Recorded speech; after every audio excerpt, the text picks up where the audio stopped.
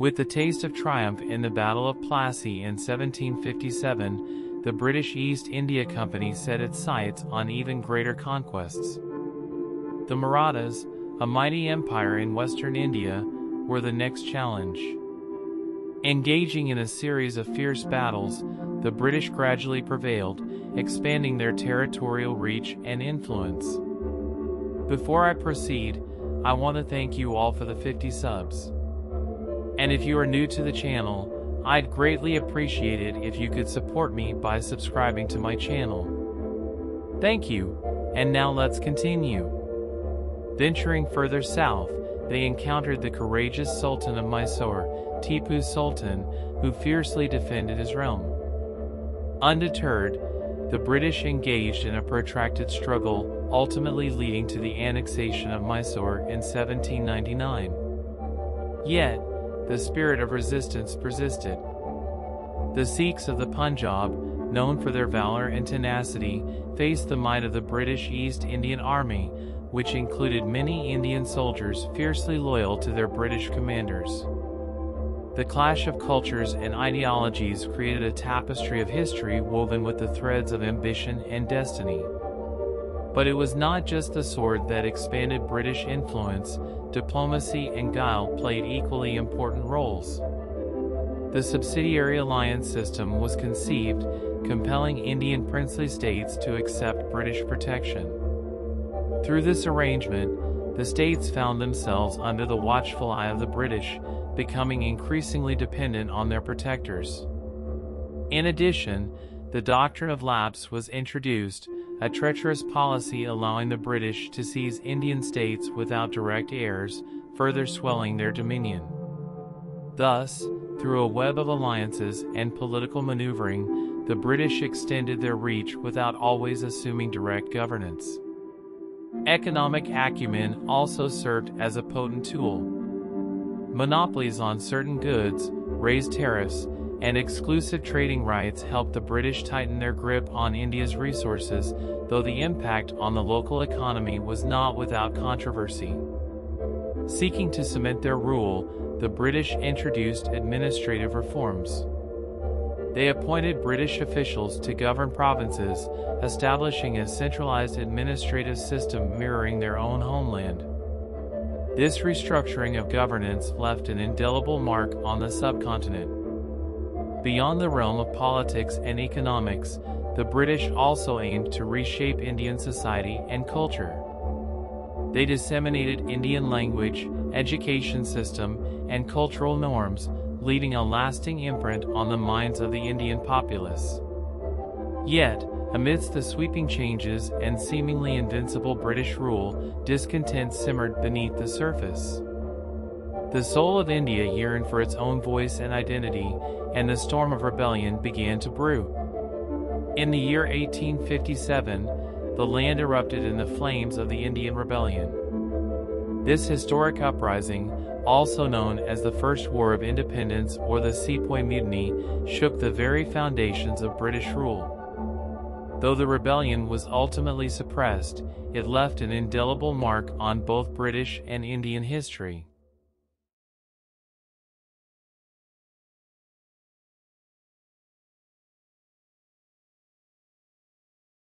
In the year 1857, a storm was brewing in India, hidden beneath the surface of apparent calm. For decades, the Indian sepoys, serving in the British East India Company's army, had been silently bearing the weight of multiple grievances, each one becoming a thread that would ultimately weave the tapestry of a great revolt against their British masters. One of the most inflammatory threads in this tapestry was the usage of cartridges that allegedly contained cow and pig fat. This grievance played a crucial role in the outbreak of the Sepoy Mutiny as it deeply offended the religious beliefs and sentiments of both Hindu and Muslim sepoys. The British had introduced a new Enfield rifle that required the sepoys to bite off the tips of paper cartridges before loading them into their rifles. These cartridges were coated with grease to ease loading, and it was widely rumored that the grease used was a mixture of cow fat and pig fat. For Hindus, the cow is a sacred animal, and its slaughter and consumption are strictly forbidden. Similarly, in Islam, pigs are considered unclean animals, and their consumption is prohibited. The use of such cartridges was seen as a direct assault on the religious beliefs and sentiments of both Hindu and Muslim sepoys. The outrage and fear among the sepoys were palpable. They believed that the British were deliberately trying to undermine their religious practices and force them to violate their sacred beliefs. As the news of the grease cartridges spread through the ranks, so did the fear that the British were conspiring to convert them to Christianity, further fanning the flames of discontent. Amidst this religious turmoil, other grievances were not forgotten. Military grievances, economic exploitation, princely states concerns, cultural and religious issues, social and cultural changes, discontent among sepoys leaders, and perception of threats to religion, all these threads were tightly woven into the fabric of discontent. The burden of military grievances weighed heavily on the sepoys. The British implemented reforms in the Bengal army that left them discontented. They were stripped of allowances and privileges, and the British demanded that they serve overseas, which contradicted their religious beliefs. This enforced service beyond the seas sowed the seeds of resentment. Another grievance lay in the discriminatory practices prevalent within the military. Despite their skills and experience, Indian sepoys were denied promotions to higher ranks. The British officers reserved these positions for themselves, establishing a racial hierarchy that favored the British soldiers. The lack of promotion opportunities and limited upward mobility further fueled their discontent. But military grievances were not the only concern. The economic exploitation of the Indian populace by the British was another thread that contributed to the rebellion. Heavy land taxes were imposed on farmers, leaving them impoverished and heavily indebted. The annexation of prosperous kingdoms like Jhansi and Nagpur under the doctrine of lapse brought economic hardships and loss of autonomy to their people. The British's imposition of heavy indirect taxes on goods and activities, along with the destruction of Indian industries in favor of British goods, added to the people's distress. Skilled artisans and workers found themselves unemployed and economically vulnerable witnessing their traditional way of life slipping away. The discontent was not confined to the common people alone. The princely states, with their rich history and traditions, also faced the wrath of British expansion. The annexation of states like Satara, Jaitpur, and Sambalpur under the doctrine of lapse left the local nobility and the people seething with resentment. Cultural and religious concerns were yet another thread in this grand revolt. Attempts to abolish widow remarriage, censorship on the Indian press, and British missionary activities aimed at converting Indians to Christianity were met with resistance from those who wished to preserve their cultural practices and religious beliefs. As the British further influenced Indian society with the introduction of railways and Western education, a division emerged between those who embraced Westernization and those who held fast to traditional customs and practices. Traditional occupations suffered due to the promotion of modern industries, leading to economic dislocation and dissatisfaction. The discontent was also fueled by the treatment of Indian officers within the British controlled military discrimination, erosion of respect, isolation from British officers, and harsh punishments for minor offenses left the native officers disillusioned and angered. Moreover, the perception of threats to religion added another layer of unrest. Rumors of cow slaughter, forced conversions, and British efforts to undermine traditional beliefs created an atmosphere of fear and resistance among the Indian population. Amidst all these simmering grievances, the immediate triggers that sparked the explosion were not far behind. The Meerut Uprising, the revolt in Barakpur, and discontent in Berhampur and Kanpur were the catalysts that set the rebellion in motion. The Sepoy Mutiny of 1857 was not merely a random outburst of violence, but a culmination of years of discontent and exploitation. The threads of military grievances, economic exploitation, princely states concerns, cultural and religious issues, social and cultural changes, discontent among Sepoy's leaders, perception of threats to religion, and the immediate triggers wove together to create a tapestry of rebellion that shook the very foundations of British rule in India. This uprising would forever change the course of India's struggle for independence.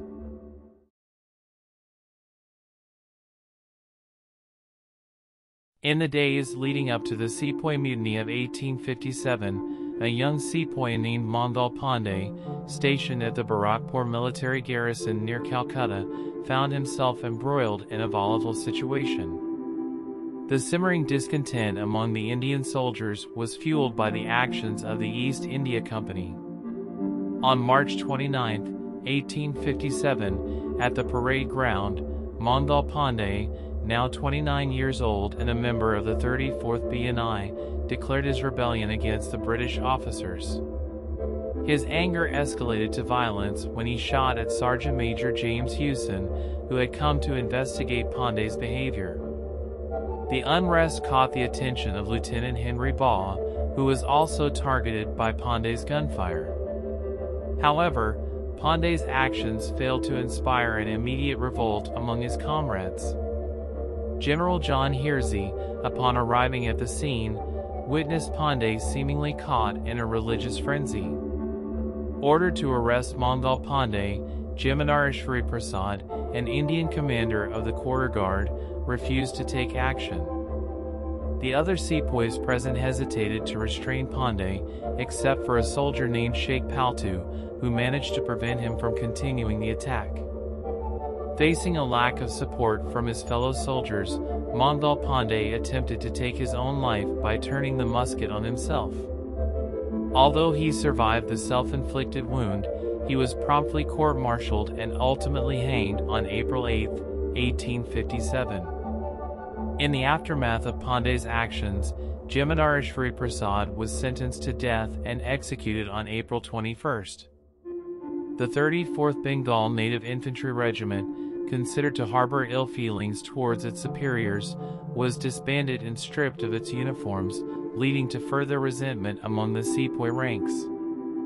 These harsh punishments and the disgraceful disbanding of the regiment served as a catalyst for the growing rebellion. Disgruntled ex-sepoys, driven by a thirst for revenge, returned home to Awadh, setting the stage for a widespread and violent uprising that would soon engulf northern India. During mid-April, simmering discontent fanned the flames of unrest in military cantonments across the land. A significant episode unfolded at Ambala, a sprawling cantonment where General Anson, the commander-in-chief of the Bengal Army, apprehensively sensed an imminent rebellion over the contentious issue of the Enfield rifle cartridges.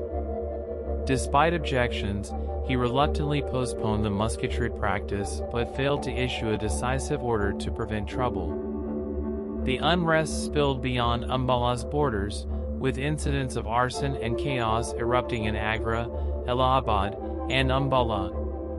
Barak buildings went up in flames, and British officers' bungalows were targeted, casting a dark shadow over the land. In the heart of Meerut, another military cantonment held a significant concentration of both Indian and British troops. Here, Lieutenant Colonel George Carmichael-Smyth's uncompromising orders to the 3rd Bengal Light Cavalry set the stage for further turmoil. On April 24th, 90 soldiers paraded for firing drills, but a shocking majority refused to accept their cartridges. A court martial followed, and 85 soldiers were sentenced to hard labor and imprisonment. The condemned men were paraded and stripped of their uniforms before being led away to jail. Their fate ignited fury among their comrades who felt betrayed by the lack of support. Sunday dawned, and off-duty British officers prepared for church services while their fellow soldiers sought relaxation in canteens and the bustling Meerut Bazaar. Seething anger and resentment loomed over the Indian troops, especially the 3rd Cavalry, who saw an opportunity to act. In a swift and shocking turn of events, the Indian troops broke into open rebellion. Junior British officers who tried to quell the first outbursts met a grim fate at the hands of the rebels. British officers' quarters became the target of the sepoys' fury, and civilians tragically paid the price. As unrest spread like wildfire, some sepoys from the 11th Bengal Native Infantry ensured the safety of trusted British officers and their families before joining the rebellion.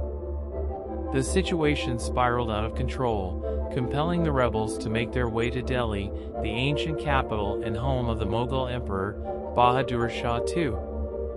On May 11, 1857, the rebel sepoys arrived in Delhi and gathered outside the king's palace, urging Bahadur Shah to support and lead their cause. Initially viewing them as mere petitioners, the king's uncertainty allowed more people from the palace to join the uprising.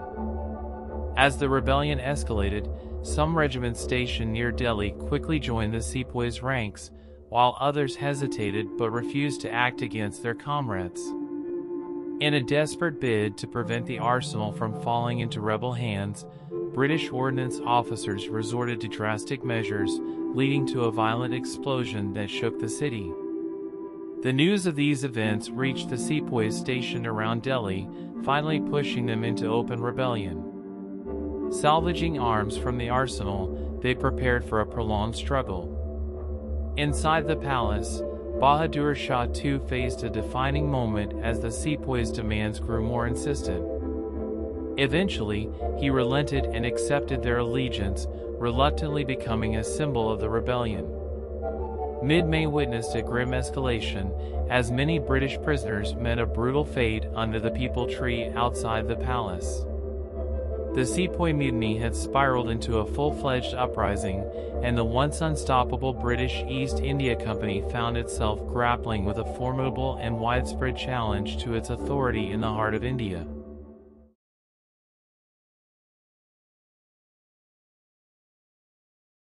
The British were not prepared as the mutiny erupted, and they struggled to respond swiftly. Troops stationed in Britain had to embark on lengthy sea voyages to reach India, while others journeyed overland through Persia from the Crimean War. Some regiments, originally en route to China, were redirected to bolster the British presence in India.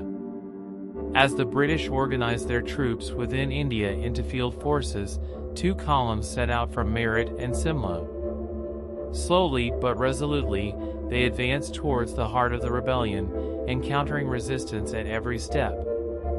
Along the way, they dealt with the rebels harshly, executing and hanging numerous Indians who dared to challenge their authority. Two months after the initial outbreak of the mutiny in Meerut, the two British forces converged near Karnal. Joined by two Gurkha units from the Bengal Army, who were contracted soldiers from the Kingdom of Nepal, the combined force confronted the main rebel army at Badliku Sarai. In fierce combat, they managed to drive the rebels back towards Delhi. The company's army, now gaining momentum, established a base on the Delhi Ridge to the north of the city, and thus began the siege of Delhi. This protracted siege endured from July 1st to September 21st, during which the British forces faced significant challenges. The encirclement of Delhi was not entirely secure, and the rebels received resources and reinforcements with relative ease, often making it seem as though the besieging British forces were the ones under siege. Disease, exhaustion, and continuous sorties by the rebels threatened to force the besiegers to withdraw. However, Thanks to the timely suppression of rebellions in the Punjab and the reinforcement of the British, Sikh, and Pakhtun soldiers under the command of John Nicholson, the besieging forces held their ground. The rebels, sensing the tides turning against them, offered terms for surrender on August 30th, but the British refused to negotiate. Instead, an eagerly awaited heavy siege train joined the besieging force, bolstering their offensive capabilities. From September 7th the siege guns relentlessly battered the city's walls and silenced the rebels' artillery. A daring attempt to storm the city through the breached walls and the Kashmiri Gate was launched on September 14th. The British managed to gain a foothold within the city but suffered heavy casualties. Despite this setback, the British officers were resolute in their determination to press on. Following a grueling week of intense street fighting, the British finally reached the imposing Red Fort. The once mighty Emperor Bahadur Shah Zafar had already fled to seek refuge at Humayun's tomb. With the capture of the Red Fort, the British regained control of Delhi. As victory was achieved, the victorious British troops turned their attention to the city itself. There were instances of looting and pillaging. The neighborhood suffered bombardments, leaving countless homes, including those of the noble Muslim families, in ruins. Amidst the chaos, the British authorities apprehended Bahadur Shah Zafar, the symbolic figurehead of the rebellion. The very next day, in an act of ruthless authority, William Hodson, a British agent, took it upon himself to execute Zafar's sons and grandson at the Khooni Darwaza, the Bloody Gate near Delhi Gate. The news struck the aging emperor with a sense of shocked silence, while Zafar's wife, Zinat Mahal, found grim comfort in the belief that her son would now be Zafar's heir. With Delhi under British control, the British forces wasted no time in their pursuit of suppressing other rebellions at places like Kanpur where the sepoys, led by General Wheeler in Cawnpore, now Kanpur, rebelled and laid siege to the British entrenchment. General Wheeler was married to an Indian woman and had relied on his personal prestige and friendly relations with Nana Sahib to prevent rebellion. However, he had taken few measures to fortify the entrenchment or stock up on supplies and ammunition. The besieged British forces endured three grueling weeks under the siege of Kanpur, facing severe shortages of water and food. Men, women, and children suffered continuous casualties. On June 25, Nana Sahib offered them safe passage to Allahabad. With just three days' worth of food remaining, the British accepted the offer on the condition that they could retain their small arms and evacuate in daylight on the morning of the 27th. Early on the morning of June 27th, the British party left their entrenchment and made their way to the river, where boats provided by Nana Sahib awaited to take them to Allahabad.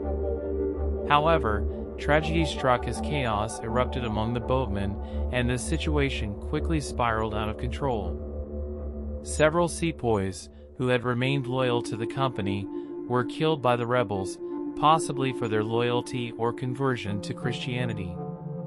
The boats carrying the British party became the scene of a dreadful massacre.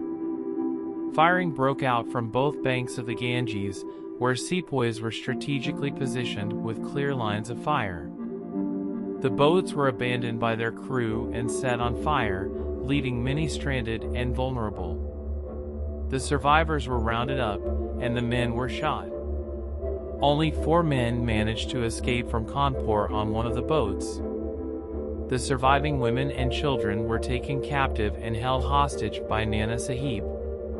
Confined first in Savada Kothi and then in the Bibighar, they endured terrible conditions and losses due to disease. With the arrival of British relief force from Allahabad, Nana Sahib and other leading rebels decided that the hostages must be killed to prevent them from being used as bargaining chips. Two Muslim butchers, two Hindu peasants, and one of Nana Sahib's bodyguards were sent to carry out the gruesome act. Armed with knives and hatchets, they killed the women and children.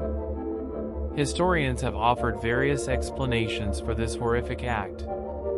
Some suggest it was done to undermine Nana Sahib's relationship with the British or to prevent information leaks after Kanpur's fall. Others theorize it was a desperate attempt to avoid recognition by any surviving prisoners who might have witnessed the earlier firings.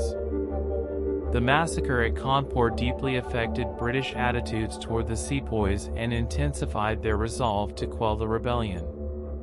Shortly after the events in Meerut, rebellion erupted in the state of Awadh, a region that had been annexed by the British just a year prior.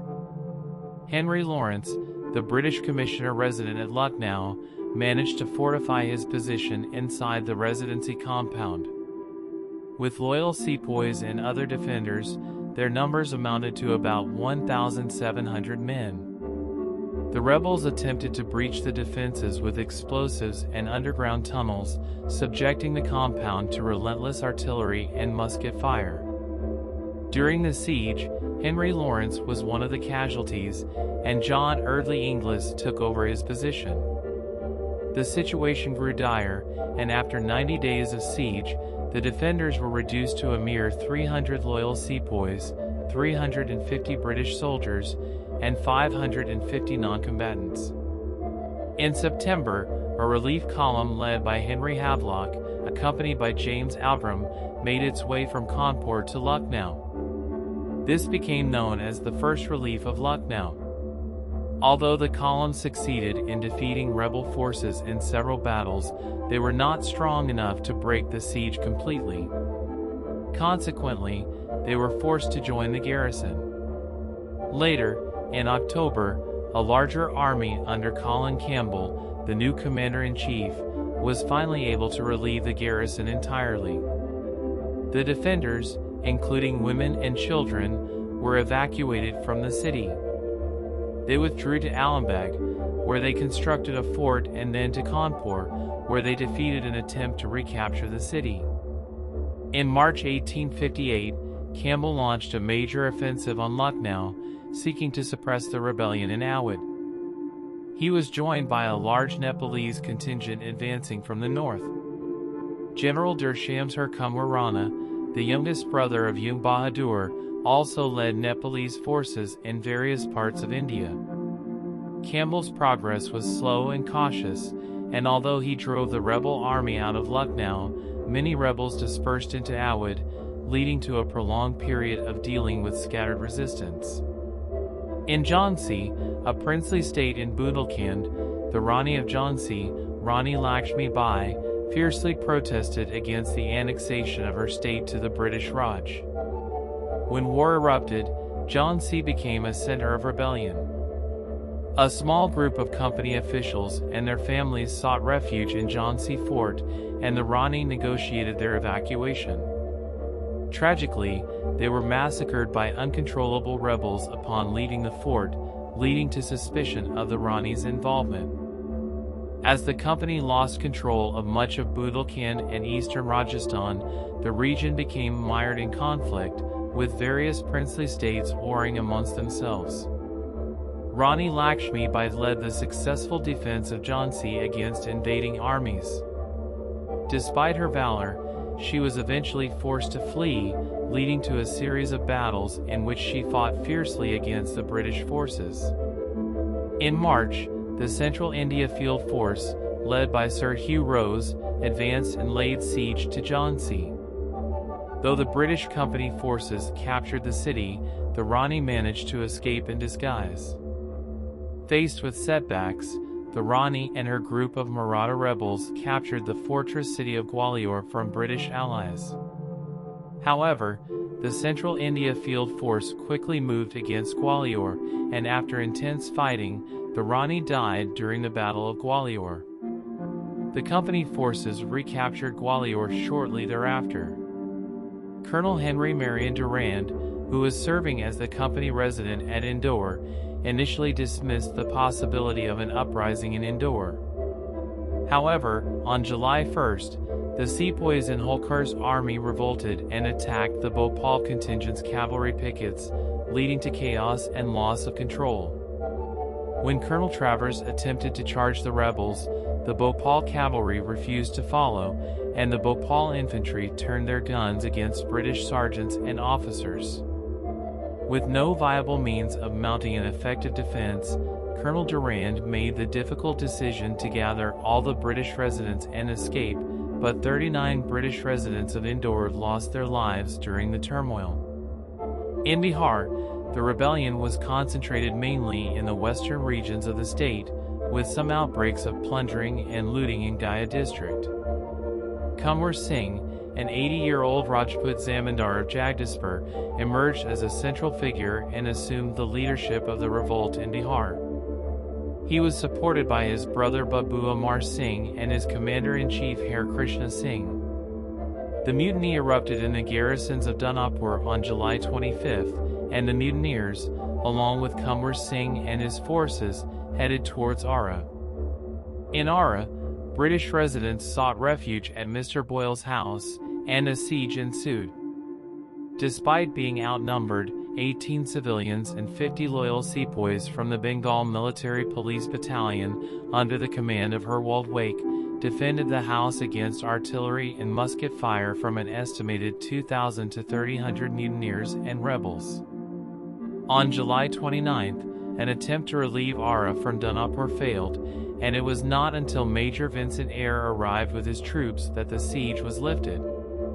Major Eyre and his forces defeated the rebels and successfully ended the siege on August 3. After receiving reinforcements, Major Eyre pursued Kunwar Singh to his palace in Jagdishpur, but the Rani had already left by the time the British forces arrived. In the Punjab, which included the present-day Indian and Pakistani Punjabi regions and the northwest frontier districts bordering Afghanistan, the rebellion was limited to disjointed uprisings by isolated regiments of sepoys. Some garrisons, like Ferozepur, fell to indecision on the part of senior British officers, allowing the sepoys to rebel and then leave the area to head for Delhi. However, at Peshawar, the British took decisive action intercepting Sepoy's mail to prevent coordination of an uprising and swiftly disarming the most disaffected Bengal native regiments. The Punjab region had been less sympathetic to the Sepoys compared to other parts of India, and many local chieftains sided with the British. The region also saw the recruitment of irregular units from Sikh and Pakhtun communities to support the British. Other regions like Orissa and Gujarat experienced sustained rebellions by local leaders, landowners, and armed communities, unlike the mutiny by sepoys in other parts of North India. In Gujarat, landowners and armed communities opposed the British due to the Inam Commission, leading to a sustained rebellion in the region. Throughout these regions, the rebellion caused significant turmoil and loss of life as the British authorities faced resistance from various sections of the population. The rebellion and its suppression were marked by acts of courage and tragedy on both sides, leaving a lasting impact on India's history.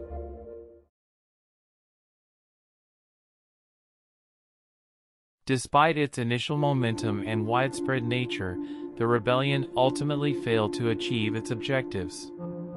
Several key factors contributed to the failure of the rebellion. The rebellion had a limited scope, with its main focus being the Doab region, the fertile plain between the Ganges and Yamuna rivers. While it garnered substantial support in some areas, a significant part of the country remained unaffected by the revolt. This lack of a united front weakened the overall impact of the rebellion, and the British were able to maintain control over various regions. One of the critical factors that hindered the success of the rebellion was the lack of effective leadership. Although there were brave leaders like Nana Sahib, Tantia Tope, and Rani Lakshmi Bai, they struggled to offer cohesive and strategic leadership to unite and guide the movement as a whole.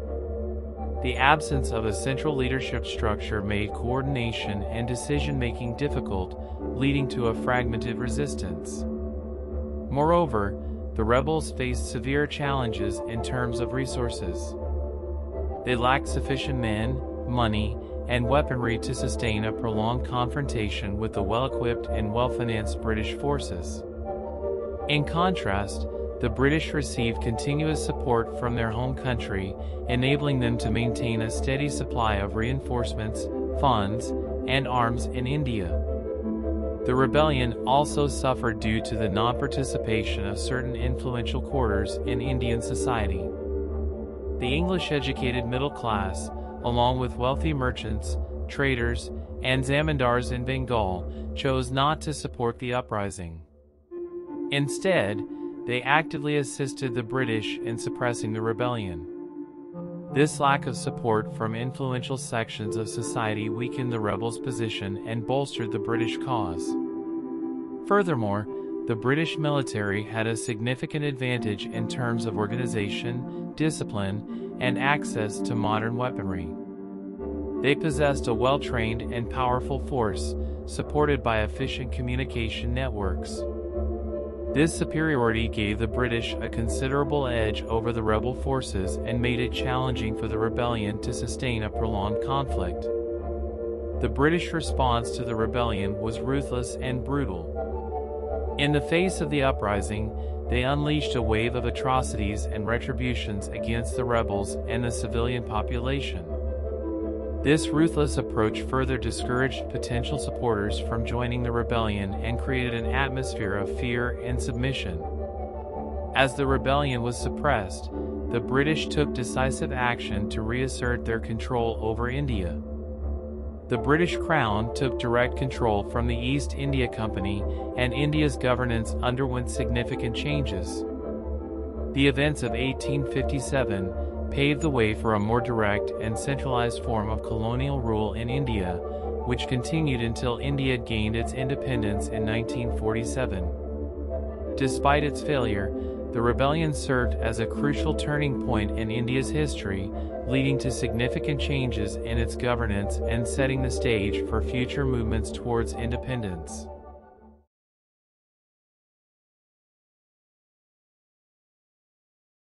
In the aftermath of the Sepoy Mutiny of 1857, India lay in a state of devastation and despair. The rebellion had witnessed atrocities committed by both sides, leading to a staggering loss of life.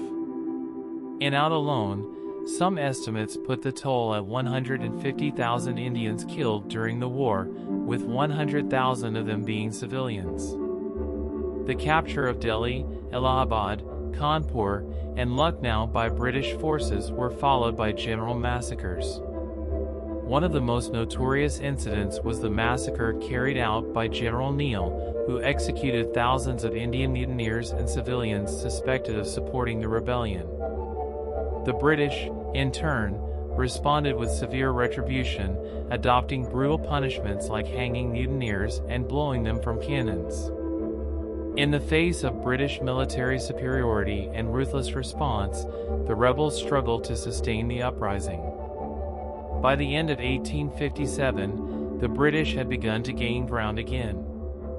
Lucknow was retaken in March 1858, and on July 8, 1858, a peace treaty was signed, officially marking the end of the rebellion. The last rebels were defeated in Gwalior on June 20, 1858, and by 1859, prominent rebel leaders like Bakht Khan and Nana Sahib had either been killed or had fled.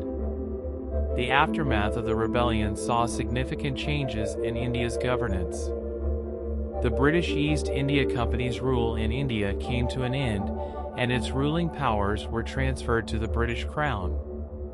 The new British Raj established a centralized administration with the Secretary of State for India formulating Indian policy and the Governor General of India taking on the title of Viceroy. Some territories that were previously under the East India Company became colonies in their own right. The British colonial administration embarked on a program of reform, trying to integrate Indian higher castes and rulers into the government and abolishing previous attempts at westernization. The British aimed to address the grievances that had contributed to the rebellion, such as religious interference and economic challenges faced by the peasantry. Indians were also gradually drawn into government at a local level, and efforts were made to provide education and opportunities for advancement. However, the reorganization of the military was also a significant outcome of the rebellion. The Bengal Army, which had dominated the Indian Army before the mutiny, underwent changes. The old Bengal Army almost vanished from the order of battle, and new units were recruited from different castes and martial races like the Sikhs and Gurkhas. The inefficiencies of the old organization, which had contributed to the estrangement between sepoys and British officers, were addressed with the formation of new units organized on the irregular system, fostering a closer bond between officers and soldiers. The aftermath of the rebellion left scars that would take years to heal.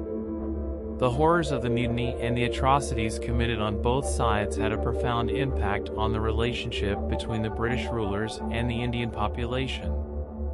The memory of the rebellion continued to shape British policies and attitudes towards India for decades to come. Ultimately, the Sepoy Mutiny of 1857 served as a turning point in India's history, leading to significant changes in its governance, military structure, and social dynamics. The rebellion, although unsuccessful, laid the groundwork for future movements towards independence and instilled a sense of nationalism and unity among the Indian population, setting the stage for the eventual struggle for freedom from British rule. That's all for today. I hope you liked this video and if you did, please give it a thumbs up, share with your friends, and if you have any suggestions, please let me know in the comments section. Thank you, and have a great day ahead.